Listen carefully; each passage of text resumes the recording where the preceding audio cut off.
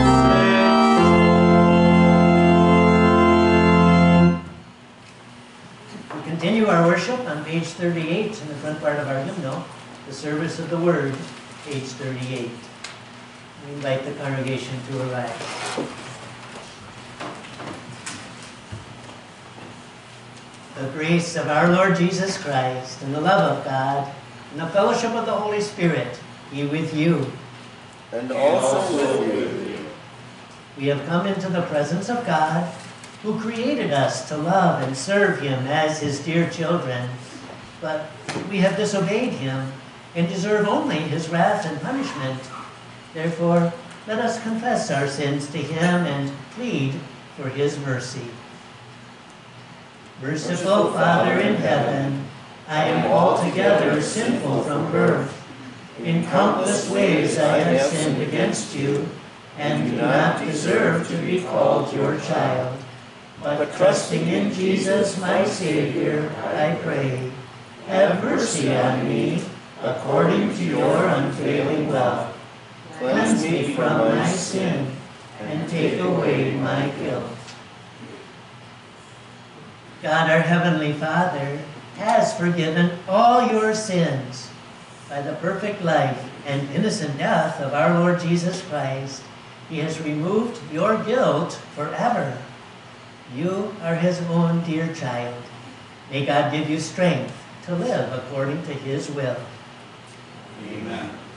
In the peace of forgiveness, let us praise the Lord.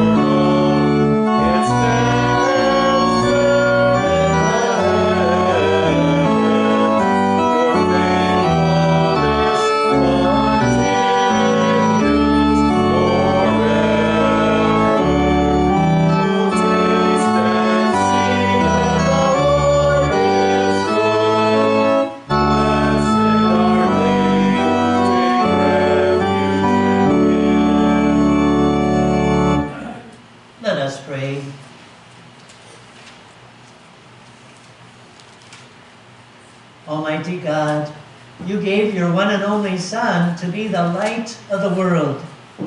Grant that your people, illumined by your word and sacraments, may shine with the radiance of Christ's glory, that he may be known, worshiped, and believed to the ends of the earth. Through Jesus Christ our Lord, who, with you and the Holy Spirit, lives and reigns one God, now and forever.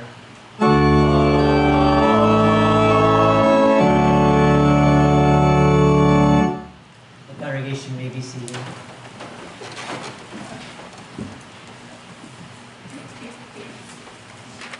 Our first scripture reading this morning is recorded for us in 1 Samuel chapter 3, beginning with verse 1. Here's the familiar account where God speaks and Samuel listens. A wonderful practice for all of us and all of God's people. When God speaks, listen, and He has wonderful words of peace for us. The boy Samuel was ministering to the Lord in the presence of Eli. The word of the Lord was rare in those days. Prophetic vision was not common.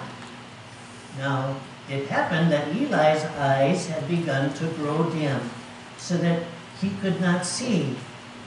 Once, when Eli was lying down in his place, and God's lamp had not yet gone out, Samuel was lying down in the Lord's temple where God's ark was. The Lord called Samuel, and Samuel said, I am here. He ran to Eli and said, I am here since you called me. Eli said, I did not call. Lie down again. So he went and lay down. Then the Lord called once more, Samuel. So Samuel got up and went to Eli and said, I am here since you called me. He answered, I did not call my son. Lie down again. Now Samuel had not yet experienced the Lord's presence. That is, the word of the Lord had not yet been revealed to him. The Lord called Samuel for the third time. So he got up and went to Eli and said, I am here since you called me. Then Eli realized that the Lord was calling the young man. So Eli said to Samuel, Go lie down, and if he calls you, say, Speak, Lord, for your servant is listening. So Samuel went and once again lay down in his place. The Lord came and stood there and called as he had the other times Samuel, Samuel. And Samuel said, Speak, for your servant is listening. This is the word of the Lord. I invite the congregation to turn to page 105 in the front part of our hymnal, where we find Psalm 103. And here the psalmist shares with us a number of the great things our God does for us. Those blessings, those great blessings, are what give us peace. Page 105.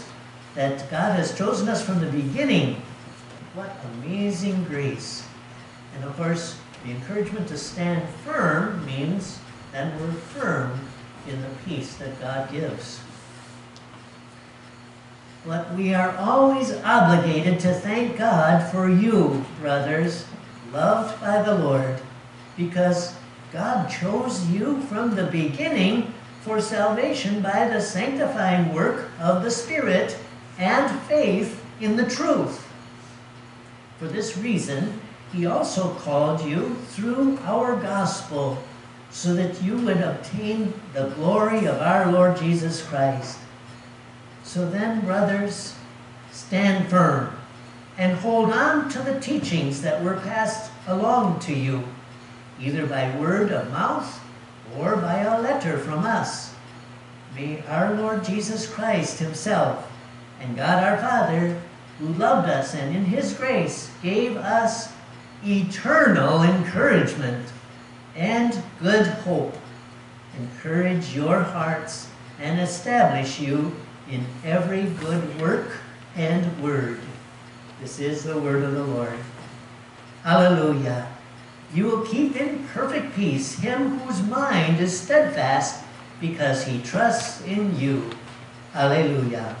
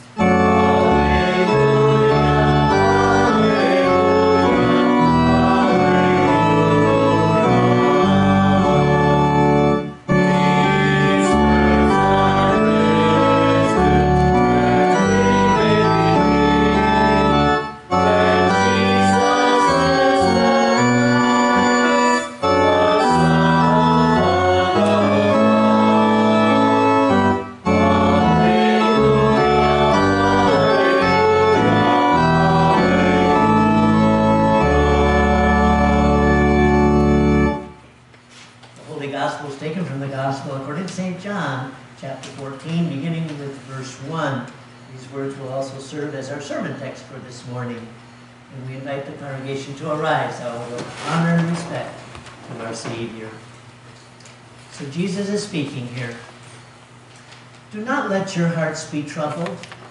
Trust in God. Trust also in me. In my Father's house are many rooms. If it were not so, I would have told you.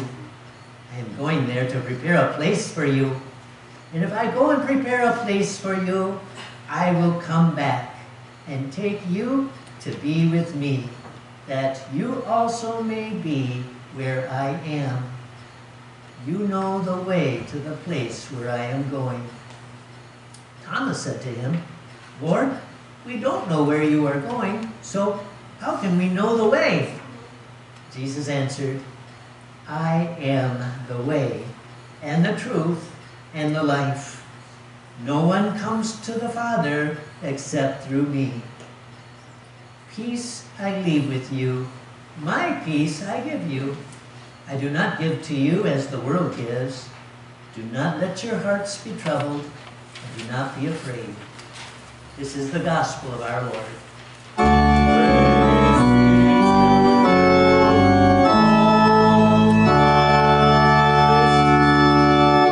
The congregation may be seated. Our next hymn is found in the supplement, hymn 735, Speak, O Lord. If anyone might not have a supplement, raise your hand and one of our councilmen will bring you a copy. Mm.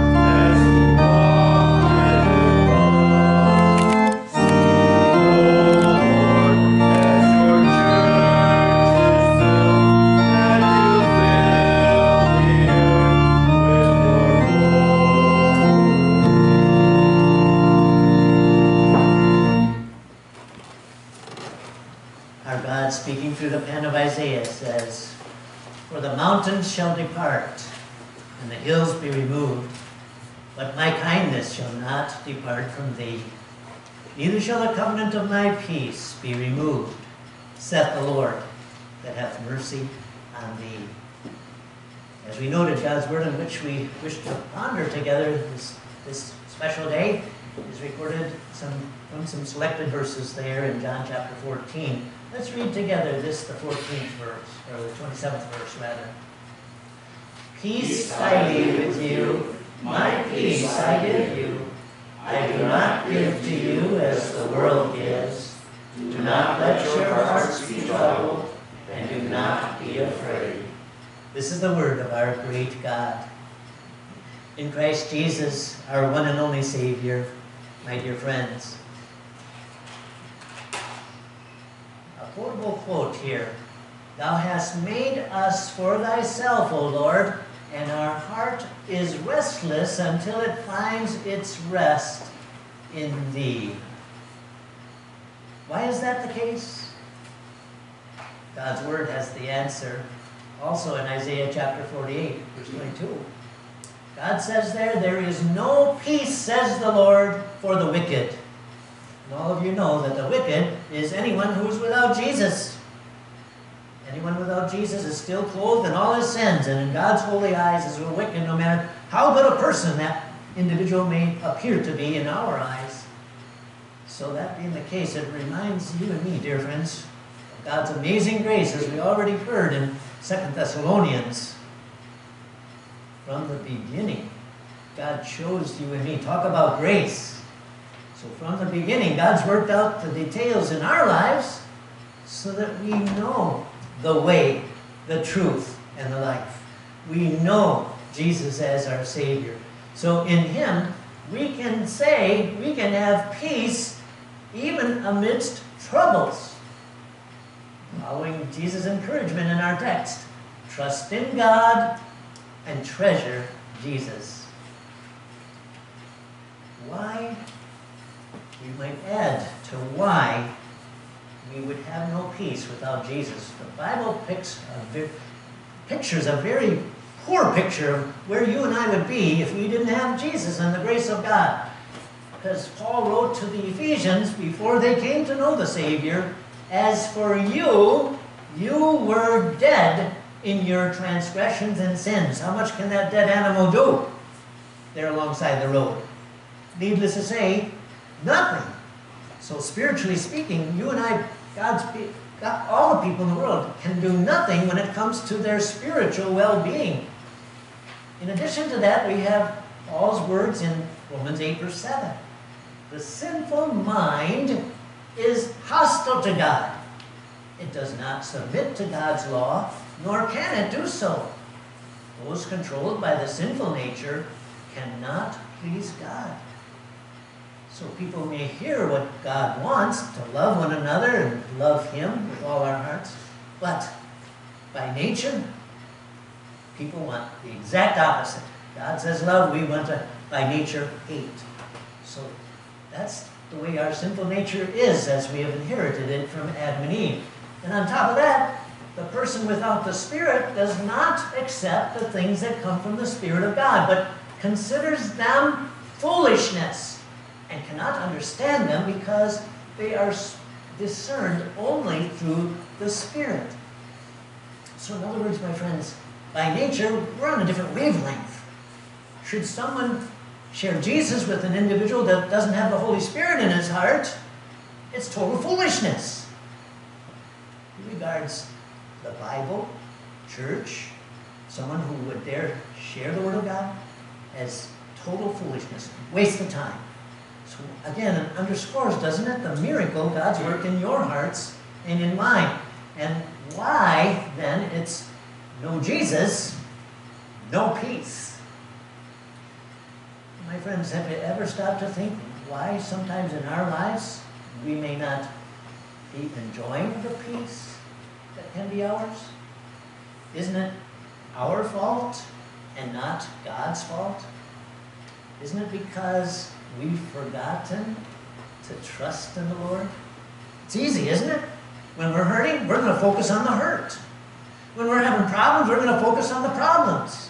And we forget all about what the instructions are there in Philippians chapter 4. And don't let any anxiety come to you, but with prayers and petitions, with thanksgiving, take everything to the Lord. That's something we tend to forget when we're in trouble, right? We forget to pray, perhaps. We forget to thank God for the mountain-sized blessings that never change from the beginning of time. So we forget to stand at the foot of the cross and look up. Fix our eyes on Jesus. Trust in Him. Trust in God. So see, dear friends, we sin. We bring no peace on ourselves when we forget to put our faith into practice. And because of our sins, just think of it, we don't deserve peace here. And we don't deserve peace for an eternity. We, we deserve only separation from our holy God. He doesn't want that. That's why he sent Jesus to die on that cross.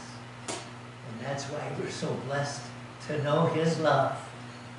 When we know Jesus, we know peace, even in the midst of trouble. Because that love of our Savior, wasn't awesome what we reviewed in Psalm 103?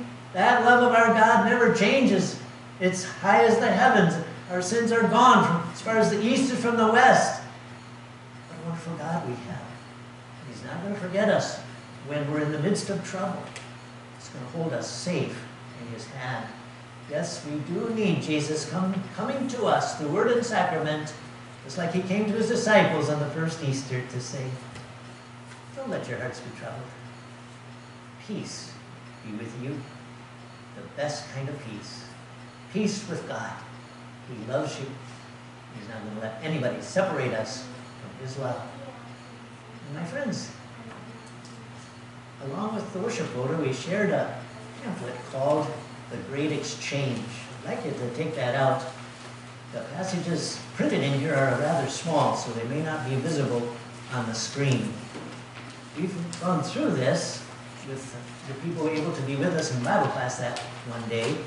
So this is going to be reviewed for our people who attend the Bible class, but but it's presented in a little different way. So hopefully it'll be it'll underscore the wonderful message this gives. And, and my friends, my hope and prayer is that you'll hang on to this, and that when if and when God opens a door for you to share Jesus with someone, a picture's worth a thousand words. So I hope It'll be a blessing for you as well as a blessing for others. So it's called the Great Exchange, and you'll see why in a moment. So first of all, on the first page inside there, we note we have a problem no matter who we are. Every person on earth, we have the same problem. The way we ought to be, what God requires is 100% holiness, absolutely no sin. When we have that, we have life. There's the scriptures. Be holy because I, the Lord your God, am holy. Per be perfect, therefore, as your heavenly Father is perfect. What a contrast, my friends, between what God wants and what he sees, whether he looks at you or me or anybody else on earth for that matter. The way we are, what God sees in us is absolutely no holiness and only total sin, which means death. There's the scriptures. There is no difference, for all have sinned and fallen short of the glory of God, and the wages of sin is death. You know what human nature is like. The man likes to come up with his own solutions. He has a conscience, so he often realizes he has a problem, so he comes up with his own solutions. He may think in terms of that teeter-totter there. you know, tip it in his favor. Do more good than bad. Or he might think in terms of a ladder. I might be at the bottom right now. I should be able to work my way up and God should be happy. Or maybe he compares himself with other people. Look at that wicked person over there. I'm not like that. Surely that person's going to hell. I'd be going to heaven because I don't live like that. However, God says that there is a way that seems right to a man, but in the end it leads to death. We want to make sure the right way is God's, what God says, not what we or people may think. And whoever keeps the whole law, all Ten Commandments, and yet stumbles in one point is guilty of breaking all of them. Think of it, my friend, no matter where we may think we are on that ladder, every single one of us, and everybody in the world, is still right there at the bottom. Praise the Lord. He has a solution. It's the right solution, it's the only solution. We call it the Great Exchange. Notice you and I are pictured on the right hand side. No holiness, only total sin to offer the Lord, requiring death. Way on the left, God sent a Savior. He did what God wants. Totally holy in every respect, thought, word, and deed. No sin on his record. They couldn't even lie to accuse Jesus of, of sin before uh, Caiaphas. He earned life, and, and then he, was, he took the death you and I deserve.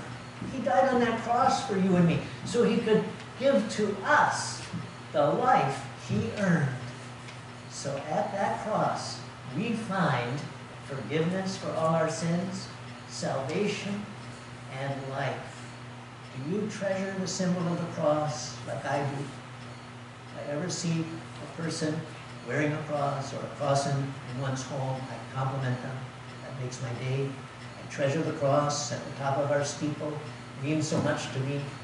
I met a, I visited with a couple this past week. No church. And she had crosses, earrings, and cross around her neck. She said, it's a symbol of torture. I about fell over. I said, no, it's a symbol of eternal life.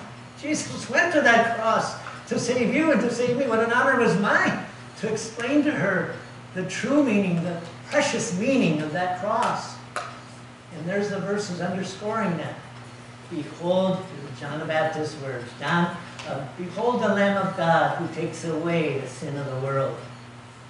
And from Isaiah, the Lord has laid on him, on Jesus, the iniquity of us all. God made him who had no sin to be sin for us, so that in him we might become the righteousness of God. That passage really underscores the title for this series of, of good news, of the great exchange. So, God's invitation to receive this gift. So if you're speaking to somebody who's maybe hearing about Jesus for the first time or has forgotten about Jesus, this is what we want to emphasize. So the life, this life is a free gift from God. And there's that beautiful verse, of course, that the rest of the passage. So people know the first part and forget the best part of Romans 6.23. The wages of sin is death, but the gift of God, the gift, something we never earned and could never deserve, the gift of God is eternal life through Jesus Christ our Lord.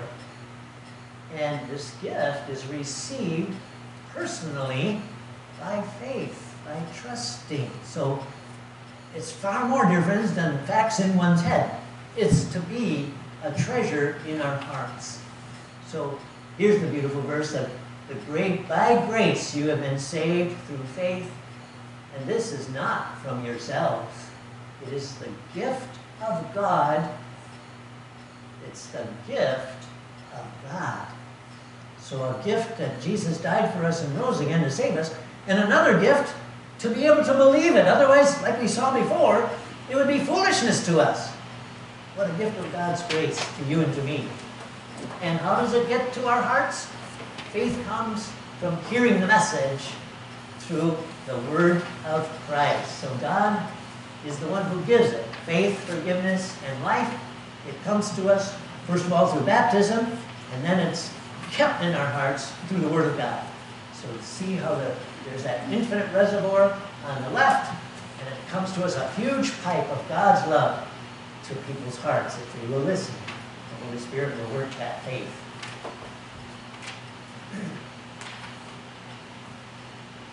So, here we have wonderful, wonderful blessings. We could talk all day about these blessings. I'll try to keep it short, but it's hard all the blessings that are ours in Christ, summarized so succinctly here. So, first one on the left, the gift that's ours through Jesus is new life. And he talks about it in the great um, Good Shepherd chapter, John 10. I have come that they may have life and have it to the full. This full life, dear friends, means we don't have to let our hearts be troubled, as our text is telling us. We can trust in the Lord. What a difference that makes. We can have the peace that surpasses all understanding. That's an abundant life, a full life. And of course, uh, answered prayer. Call upon me in the day of trouble. I will deliver you and you will honor me.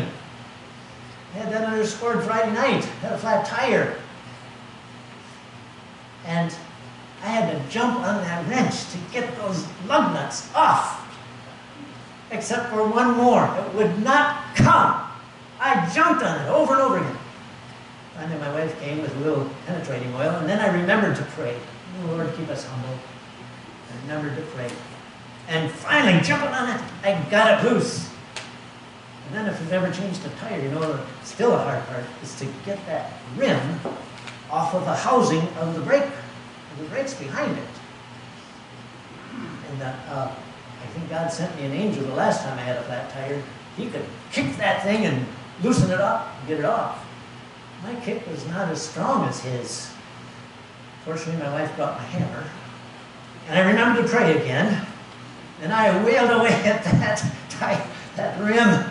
And finally, after a lot of rail, railing and a little more prayer, it came loose so I could change the tire and get home once again. So, did you see, dear friends? I just honored the Lord. It wasn't me. It wasn't a wonderful help from my wife holding the flashlight on it so I could see what I was doing in the dark. But God answered prayer. What a, what a blessing. How, how does anybody do it without the Lord in their life and without the gift of prayer? I do not know. Then we have Christian fellowship, what you and I get to enjoy every time we gather together in the Lord's name. And I like this verse to underscore the gift of fellowship. Let us not give up meeting together, as some are in the habit of doing, but let us encourage one another, and all the more as we see the day approaching. So the meeting together, of course, is worship as well as Bible study. And what wonderful encouragement God gives to us as we gather together in the Lord's name and sing those praises from our hymnal. God surely blesses us as we uh, encourage one another. What a gift from God in, in this life that can often be discouraging at best. So we go to our text. Jesus had just dropped a bombshell. Maybe you remember what he said to his disciples on the first Maundy Thursday. He said, I'm going to be leaving you. I'm going to be going away. Where I'm going, you can't come. Imagine the lightning bolt that must have been to their hearts? They had such a thrill. Who wouldn't love to be in their shoes and hear Jesus' perfect sermons, see those tremendous miracles?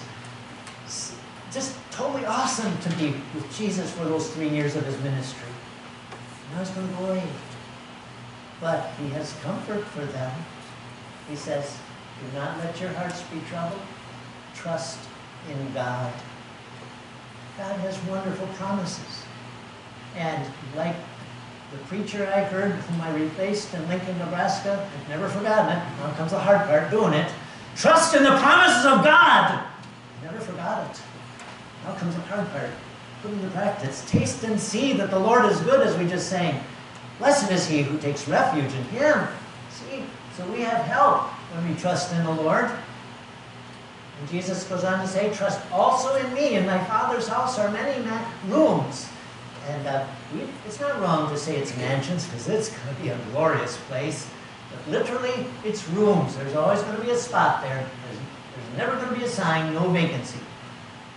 My Father's oh, house are many rooms. One of those rooms has your name and mine on it. If it were not so, I would have told you, I'm going there to prepare a place for you. Just think of what a beautiful place that will be. We all have beautiful rooms in our own homes, right? And that's just a small taste of the wonderful place Jesus is preparing for us. So, so see, my friends, we don't even have to worry about death. That, that could be very troubling to people, but not for you and me who know our God and His promises.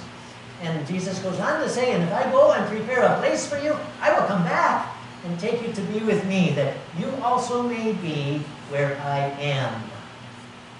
You know the way to the place where I am going. Heard a discussion on separation um, challenges with little children going to school for the first time or what have you, and how one wants to talk to them, prepare them, and of course emphasize this very point Jesus is making. Don't worry, I'll come back to get you again. I'll be back soon. And that's what Jesus is saying here. I'll be coming back. Don't worry. And, uh, and of course, Thomas didn't remember the way, so Jesus has these beautiful words for you and me. Jesus answered, I am the way, and the truth, and the life. No one comes to the Father except through me. Why does it say, except through me? You know, dear friends, because it takes that cross. Like Paul wrote to the Romans, he who did not spare his own son, but gave him up for us all, how will he not along with him freely give us all things? So we can have peace, even in its trouble. Because God took away the greatest burden, the greatest trouble, took away our sins. He'll help us with every other trouble. So peace, even amidst troubles, trust in God, trust in his promises, and treasure Jesus. Jesus gives us this beautiful promise. Peace I leave with you, my peace I give you. Do not give, I did, do not give to you as the world gives. Do not let your hearts be troubled, and do not be afraid. So, we have those blessings, huh? And the blessings include, at the end, the fruit of the Spirit, which is love, joy, peace, patience, kindness, goodness, gentleness, and self-control, Galatians 5. Wonderful blessings that you and I can't earn. You can't buy it. it comes to us only by a gift of the Holy Spirit as He builds us up in faith, giving us all those wonderful gifts. Top of the list, love, joy, and peace, as well as wonderful goals. We are God's workmanship, created in Christ Jesus to do good works. Isn't that interesting what the rest of that verse says? He's, which he has prepared in advance for us to do. So in other words, God chose us from eternity, and already he knew when you and I would live, and he's, he prepared opportunities for us to serve him that would bring him glory. And of course, we have the little reminder there Good works do not produce Christians, but Christians, God's people, produce good works. My friends, a God like this, you're going to get to know better. See, if we're sharing this with somebody who's not attuned to church, not in tune with the importance of the Word of God, here's a picture that can help, I believe. A friend of mine drew it for me. Well, first of all, so the illustration shows the world the devil and our own sinful nature are busy pulling with all their might, really, whether we realize it or not. Those three enemies of our God do not want anybody to stay close to Jesus. We're going to pull them away. And, and of course, according to God's word, there's only one way we can stay close to Jesus till we're close to Him forever in heaven. And that's the Holy Spirit's work in our hearts through the Word of God. He keeps us safe in God's family, close to Jesus My friends, do we have a heart for the lost? If you were lost and on the way to hell, wouldn't you want somebody knocking on your door, asking you, inviting you, won't you come? Come with me to church. Come with me to this event. Come with me to the Bible study. I sure would. Do we have a heart like Jesus? Isn't this amazing? Jesus is looking at Jerusalem. This is Palm Sunday. As he approached Jerusalem and saw the city, he, he wept. He cried for these people. These are the same people who are going to do such despicable things to him. He's crying for them and said, if you even, even you had only known this day what would bring you peace, but now it is hidden from your eyes the God of this world, the devil, blinds people. And that's why it's hidden. God wants it to be evident, but people jive with the devil's work and ignore it. So, my friends, this is one of the most exciting things to do. Come to the Bible information class, share the Bible information class, uh, uh, an organized way to share all the main truths of the Bible. And you see marvelous things happen. Some of you might remember Lynn Johnson. He was confirmed the first year I was here. And Lynn had never had a, he, he was in church his whole life up, up until he left his home, that is, and wandered terribly away from the Lord. But God brought him back, and he just was thrilled. One of our people in our church, when he visited the first time, welcomed him. That made a big difference. He came back again. And he came to the Bible information class, along with his wife. And one time, he texted me this most uplifting message. He says, I love the Bible. I love Immanuel. I love the pastor. I love the pastor's wife. He didn't have to go that far. but sadly, Lynn moved away, so we don't have him in our midst anymore. But I'll never forget his message. And, and I'm inviting you, dear friends, remember the lost. Do you have a friend, a relative, a, an associate at work or school, a, a neighbor who does not know him? This is where he's at. No Jesus, no peace. That's what God says, who knows our hearts. And God wants, I trust, all of us want the same thing. No Jesus and no peace. And if you were able to use this and help somebody know Jesus, I would jump up and down for joy. That would be just a total joy. It is a total joy to teach God's word and see the Holy Spirit work through it. So yes, my friends, peace peace, even amidst troubles when we trust in God and treasure Jesus. Then, knowing Jesus, we know peace. That's for life and forever. Amen. And the peace of God, which is beyond our dreams, shall guard and keep our hearts and minds through faith in Christ Jesus. Amen. So we join in confessing our faith in the one true God, the only God who gives true peace and eternal peace in the words of the Apostles' Creed. If you want to follow along in your hymnal, it's on page 41. If you can see the screen, we'll have the words up there. We invite the congregation to arise. I believe in God the Father Almighty, maker of heaven and earth. I believe in Jesus Christ, his only Son, our Lord, who was conceived by the Holy Spirit, born of the Virgin Mary, suffered under Pontius Pilate, was crucified, died, and was buried. He descended into hell. The third day he rose again from the dead. He ascended into heaven, and is seated at the right hand of God the Father Almighty. From there he will come to judge the living and the dead. I believe in the Holy Spirit, the holy Christian Church, the communion of saints, the forgiveness of sins, the resurrection of the body, and the life everlasting.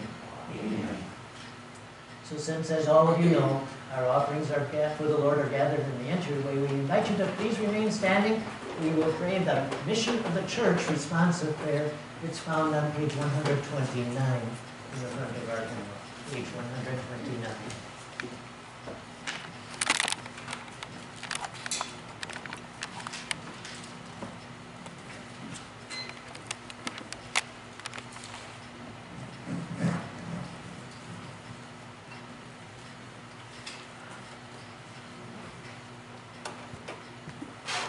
Eternal God and Father, we give you thanks for the blessings we share as members of your holy church, for your gracious word and sacraments, for opportunities to worship and to grow in faith and knowledge, for occasions to serve and be served, for fellowship with believers in our congregation and in our synod. Help us to rejoice in these blessings, dear Lord, and to use them faithfully. Jesus Christ, Lord of the church, you give grace to your people by calling us to be your witnesses in the world. Open our eyes to see the great and noble mission that lies before us, in the hurting eyes of the lonely, in the pained eyes of the sick, and in the searching eyes of the lost. Help us to see your face, O Jesus, and to serve others as we would serve you. Awaken us to the opportunities you give to proclaim your message of love. Holy Spirit, giver of life, through word and sacrament, bestow on us the wisdom and power we need to witness clearly and to act boldly. Help us to speak the truth in love, to give the reason for the hope we have, and to conduct ourselves with gentleness and respect. Set our hearts on fire as we work and witness for Christ. Hear us, Lord, as we pray for family, family member, an acquaintance, a neighbor, or a friend who does not believe in you or whose faith is weak or troubled.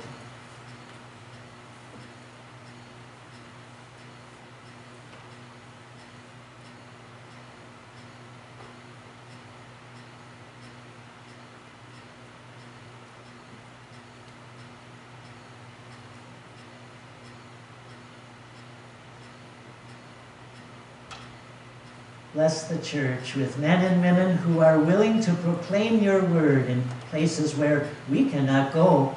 Keep them and their loved ones in your care, and let nothing hinder them or their work.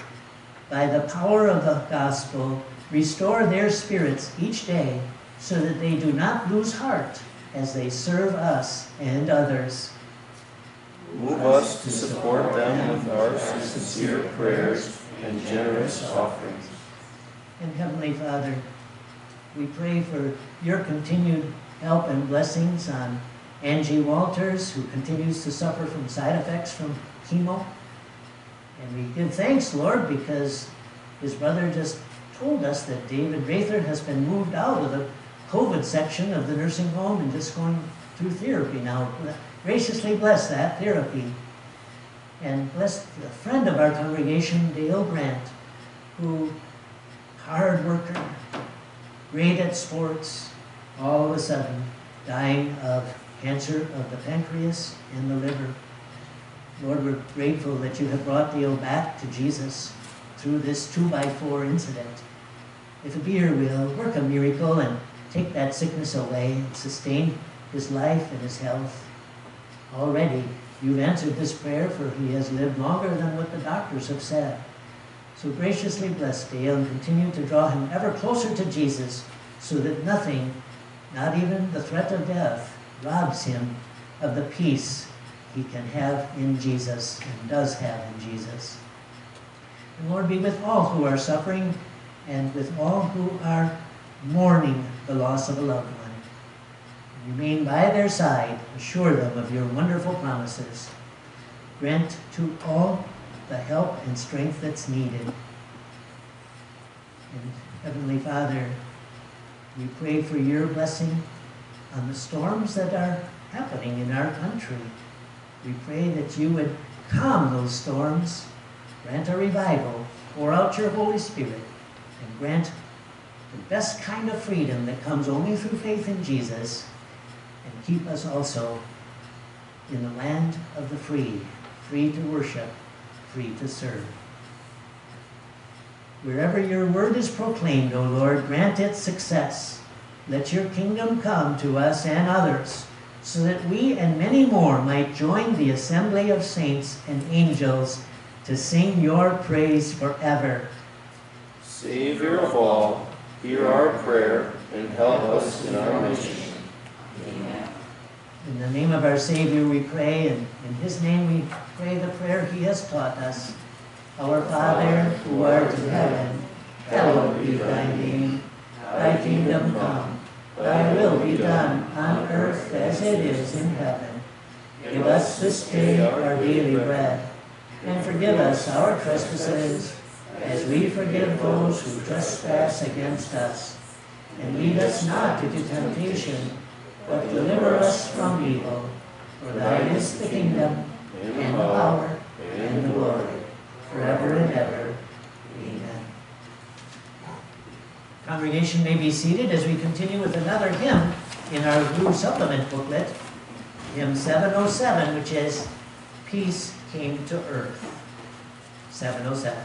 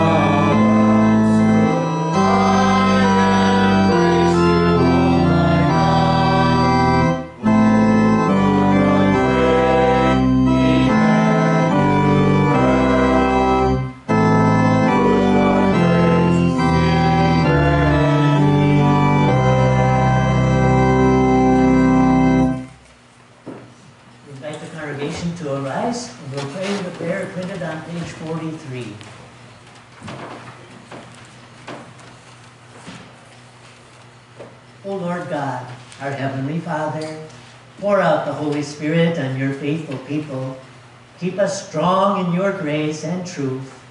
Protect and comfort us in all temptation, and bestow on us your saving peace.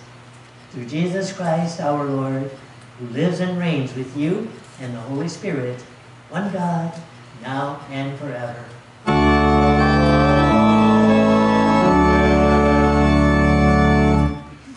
Brothers and sisters, go in peace, live in harmony with one another, Serve the Lord with gladness. And the Lord bless you and keep you. The Lord make his face shine on you and be gracious unto you. The Lord look upon you with favor and give you peace.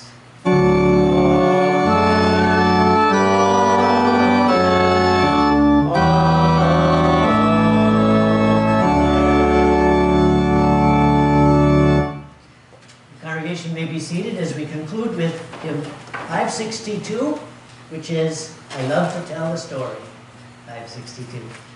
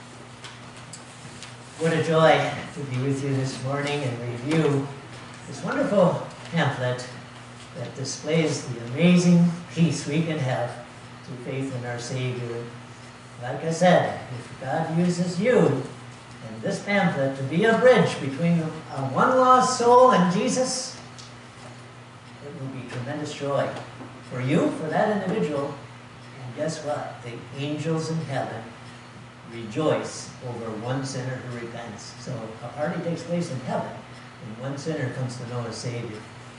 So, and, uh, and if you find one person who wants that Bible information class, um, I will start it right here at Immanuel or wherever the best place might be. So just let me know. We, um, I re- referred to that woman with the crosses. I've been visiting that, uh, that, her, her boyfriend for years. And surprise, surprise, he never accepted my invitation. God arranged it last Thursday on my way home from the circuit meeting in Lake Mills. They were home. They weren't out on their snowmobiles. They just arrived home when I arrived. God arranged it. We're going to start a Bible class for them in Fort Atkinson. So if you have any friends in Fort Atkinson that need the Savior in their life or want to review how great it is to have His peace, um, let me know. They are, they are invited. By the way, don't give up. I tried to illustrate that with talking about these friends. Don't give up. Because I read about a woman whose friend was an unbeliever. I don't know if she really kept track of it, but she said she invited this friend 44 times to special services, special events. Finally, the 45th time, the friend came and the Lord touched her heart. So don't give up. Keep on praying, keep on inviting. It makes a difference. So next week, just a heads up, will be our voters meeting. Some exciting things that we're going to be sharing with our voters. Hope you can plan to stay. Um, and opportunity to next week, because you all know that the 22nd was the horrible anniversary of Roe versus Wade, 48 years of murdering unborn children, and, and it's not against the law. So here's an opportunity to have a door offering to support the group in Watertown that is there to, to encourage the situation, adoption, not abortion. It's called Christian Life Resources, the Alpha, Alpha chapter. And this Wednesday we begin a new Bible study right here at Immanuel, which is important chapters of the Bible. So our people who came, it's a 52 uh, chapter course. However, the people at our Bible class were pretty wise. We didn't want it to last till Jesus returns. So they each picked 10. And a lot of them picked the last time, so that will be in the process. Those chapters dealing with the last times. This coming Wednesday will be Genesis 22, Abraham's test. And I, just a, a word of encouragement to read what's on the back page of the worship folder. There's really good news from Martin Luther College. So God bless you all with a wonderful Sunday, and uh, God be with you till we meet again. Bible class immediately following the service. We are His witnesses as a synod is the theme. God bless.